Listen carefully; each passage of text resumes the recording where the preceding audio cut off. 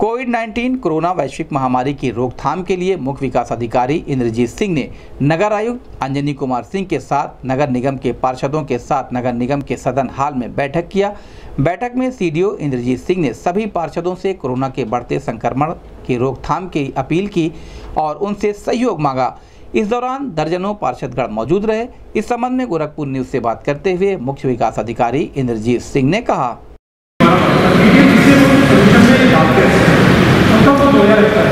पहले पच्चीस और सौ रुपये वो एक्स्ट्रा दे रहा है छब्बीस सौ एक बार को जब घर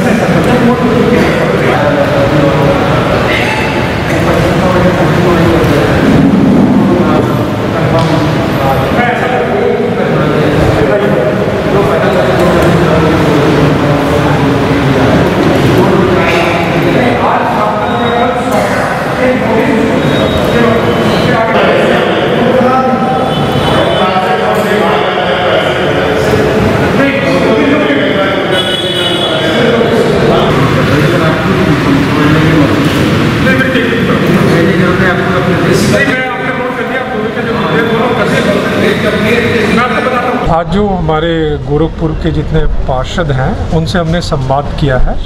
और उनका बहुत सहयोग है हमारा पहले ही कोरोना की लड़ाई में। तो आगे जो टेस्टिंग हमें बढ़ानी है और जो लोगों को जागरूक करना है, उसके लिए उनसे अनुरोध किया गया और सबने बहुत अच्छा मुझे सहयोग करने का वादा भी किया और बहुत अच्छी फीडबैक दी है जिसको हम लोग इम्प्रूवमेंट लाएँगे इसकी स्टडी